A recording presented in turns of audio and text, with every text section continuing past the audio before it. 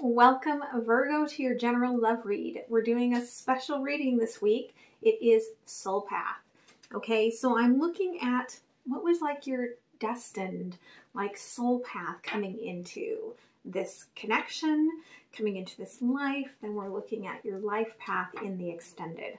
Okay, if you are new, welcome. I am intuitive, and so some of what I see as we go through this tarot reading may not resonate but with any reading that's general, there are going to be things that won't resonate. So take what's light for you, leave the rest. Roles could be reversed. You could watch this and be like, this is totally my person. Well, then it is totally your person, okay? Um, as well, time is fluid. So whenever you come to this, if it resonates for you, that is when it was meant for you. All right, so let's go ahead and take a look here first at cards for the collective and the intention. Okay, that way you're still getting some very guided energy from spirit. Okay, before we go on this fun little journey. All right, interesting. So, okay, for the collective, you start out with birth and root chakra, which the birthing process, right? The actual birth canal is in the root chakra.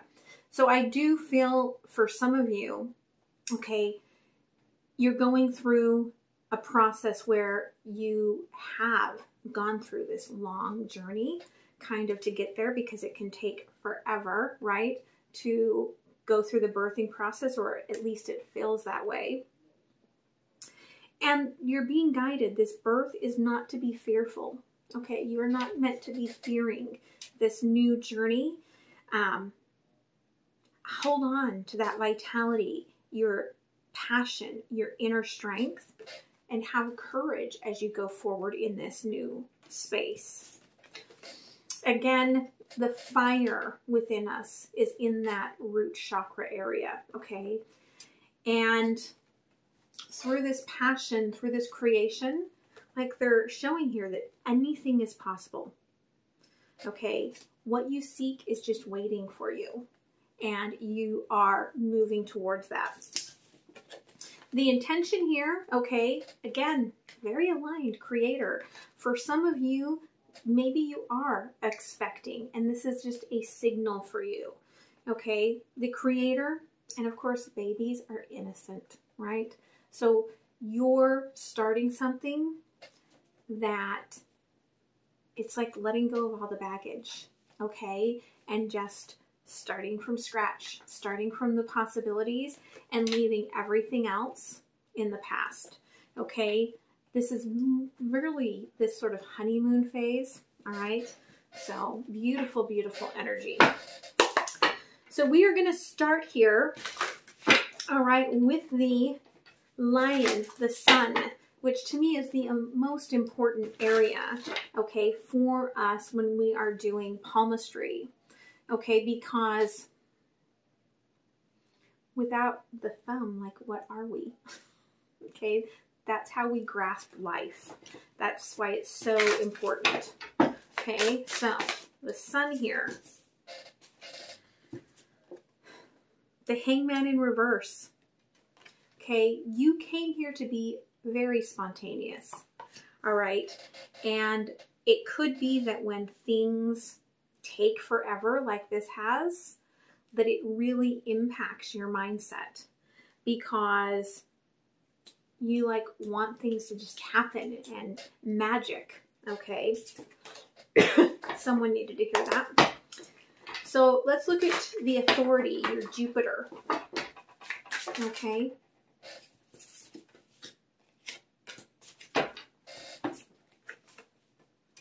Okay, Queen of Pentacles in reverse, Nine of Cups in the upright. So you do tend to follow luck and light. Um, you could very much be someone that's empathic, you follow energy, you allow love and energy to override stability and growth, okay, in terms of where where you feel like you're an authority. Like you may feel like I'm an authority, right? Like in listening to my in inner knowing of my heart. Okay, I just follow my heart, so to speak. The Saturn, your logic here, means that I feel like sometimes, okay, yeah, sometimes when you have two paths, because we've got someone really needs to hear this, the Empress here with the Two of Wands, when you have two paths, even if it seems illogical as all get out, you follow your heart, okay? But it also shows me here that when you're not in unison, okay, with others on your choices, that you probably go inward, okay? The Apollo, your emotions, they lead you to the tower, okay? You let your emotions wreak havoc on your foundation sometimes because you do follow your heart. Okay, your Mercury, your communication, you're very patient, okay? But it also shows me with the Knight of Pentacles being in the communication area that you could be one to give the silent treatment, okay? It could sometimes be that you just don't say how you feel even though you uh, that's all you are is feelings. Like at your core, you are feelings. Now the connection here, which is your inner Mars, okay, Page of Swords, I do feel like you are very clear that this is your person, okay? Your heart, outer Mars though, okay, you've had a lot of pain associated with this. And it may have been because there were lessons that your soul wanted to learn through this connection. We look at the Venus, your divine masculine. Okay, your inner divine masculine has no boundaries. Okay, you're spontaneous, you have no boundaries. Um, you speak your, you know, when you do speak, you speak it from the heart. And I do feel like that causes you a lot of pain and a lot of times I feel that you do have to really pull yourself into calmer waters because emotionally you are so tied into all of this. The Divine Feminine, your moon, okay, is about understanding timing where you may struggle with that because I feel like you're very tapped into the 5D, not necessarily the three or the fourth dimension, okay? Plane of Mars, all right, outcome here. You're very giving, okay? Um, I feel like you just keep giving. I want another one here really quickly. Yeah. You just give all of your love. Okay, I feel like no matter what happens, you're understanding and loving. And if this is your person, you're just going to keep giving them all of your love, no matter what the outcome. So in the situation here, okay, this person could be tied to something else, whether it's a belief, family, work, um, another partner, but I feel like they want to take action. King of Wands here, okay? They do want to take action. At the bottom, we've got the Ace of Wands, and there's the Emperor, okay? What this person wants is that Two of Cups. However, um, it really does come down to, I feel like, the timing but let's go ahead and let's do some clarification on here. Okay. So let's look at your sun.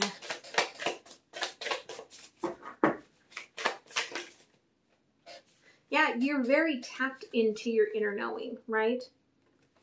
And it's hard for you to balance between just following your inner knowing, following that spontaneity, and actually living in this reality. Um, there's one reader, and I don't know his name. Um, and I hate to say that, but there's not a lot of readers that I follow. Um, so I should know his name. But he's just so genuine. But what I like about him is that he does say, you know, sure, having that 5D connection is great, but we live in the 3D world. And so it takes being aligned right to that 3D world to live here. And so that could be kind of what you came here to balance. Like you came here to learn how to live in this box of the third dimension. Okay? So when we look at the Jupiter here, okay, there we have the dreaminess and the higher attachment. Like you let your higher knowing and love override everything. Okay? With the Saturn here, yeah, okay. I feel like you spend just a lot of time in the intuitive world, in this higher realm. And because of that, it does keep you making impulsive movements. Um, you know, it keeps you on your toes. Sometimes it keeps you from making the more stable choice. Okay, the Apollo here. Yeah. Okay, again, you let your emotions like terrorize the rest of your life. But I feel like what they're showing here with the Ace of Cups and the world, I feel like that is starting to change with this connection. There's this feeling of you're learning valuable lessons from this person on how to hold space, okay? I mean, that's exactly what this says to me here right, right now. That is someone holding space, okay? So you're learning how to hold space and not to let your emotions like drive over the top of someone, although they may have already in this situation. Um, but it's important to know that you're learning and that you're ending some of these 3D cycles. In the communication here, okay, yeah, it's letting go of the fact that you know you can say anything in the world to this person in the 5D. That's why there's such a slowdown here. Okay, this patience. But it's allowing yourself to open up and communicate to people here. Okay, not just up here. So, inner Mars, the connection here.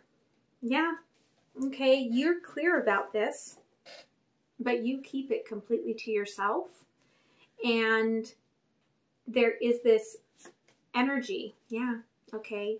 Like, I feel like your lack of communication to them kind of has been your own inner fight, and it's really burned this energy down, okay? Because in your heart, you may think you're not even connected to this person. There may be a part of you that thinks that this is just you know, made up. Okay, and you may be telling yourself to, you know, quit following your intuition, quit thinking the way you think. Focus on the stability because it doesn't work for you. And the hard part about that is that that is not at all wired into your system. So it's like telling yourself, you know, being like a, a zebra and saying, well, I'm, I'm just a horse. How can you do that? How does that work? Okay, so it's the Venus divine masculine, okay? This lack of boundaries creates a lot of heartbreak for you. And on the other side, trying to, you know, allow divine timing to happen. Okay, allowing like cycles to end. We do have a lot of juggling of that, trying to come into that balance. Yeah, and you're overly thinking, okay? You will allow yourself to be in pain forevermore if it's for the benefit of this person, okay? Now, part of that is your ego because that's ridiculous to be in pain and carry someone else's burden. But you're, you know, allowing your head to be like, well, that's that's love, which it is not. Okay. So this person here, okay, I feel like they're done wearing a mask because they're like, I've tried to make this happen the way that I want to. I've tried to, you know, get over my own issues and that hasn't worked. Okay.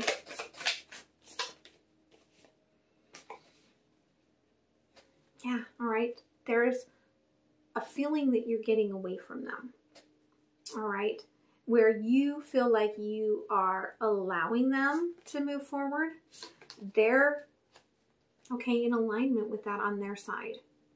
Their own tower moment of going calmly into the night when there's this love for you. Okay, I feel like communication is going to show up. All right. But again, Spirit is saying, don't try to control it. Okay. The control is when your emotions take over. And that's when you'll find yourself in a place that doesn't feel right. Okay. So let's look at the lesson here. Okay. What's the lesson that you're learning here? Okay. It is about the journey. You are moving through time, space, and dimensions. What did I say? For a more conscious life. In the 3D, I am imprinted with the human condition in an energetic reality. That is exactly what all of this has said. And I, I agree. This is just spirit aligning here to say everything that we saw here is true. Okay, you are trying to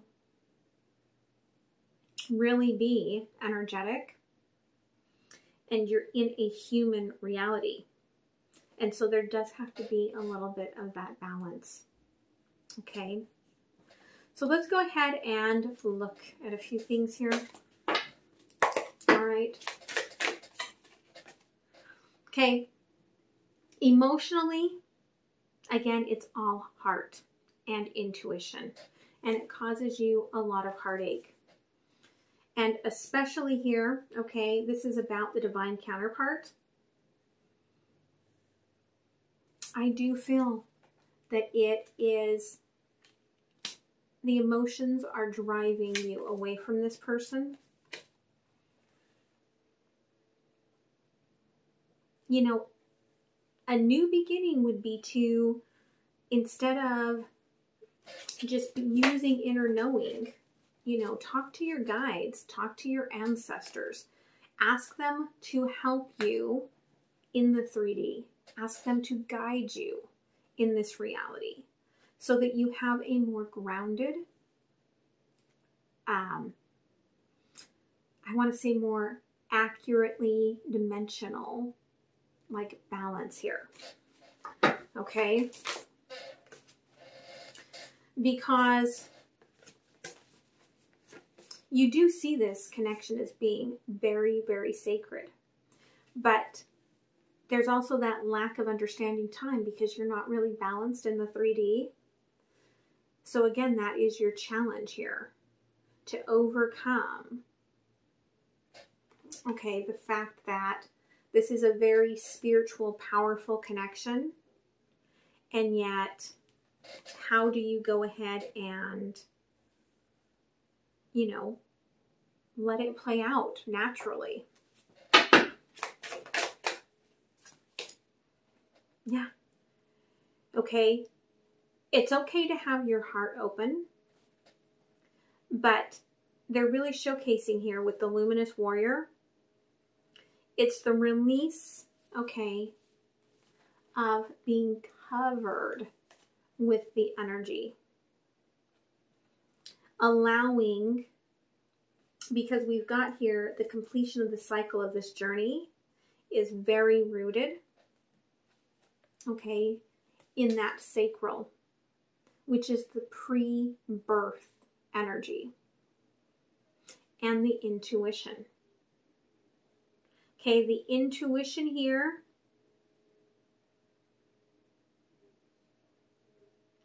I really feel that the intuition is knowing that this is your person, but allowing yourself to clear out the deceptions for this birth, that you can control it or that it has to happen in a specific way to align to what you see in the 5D. All right.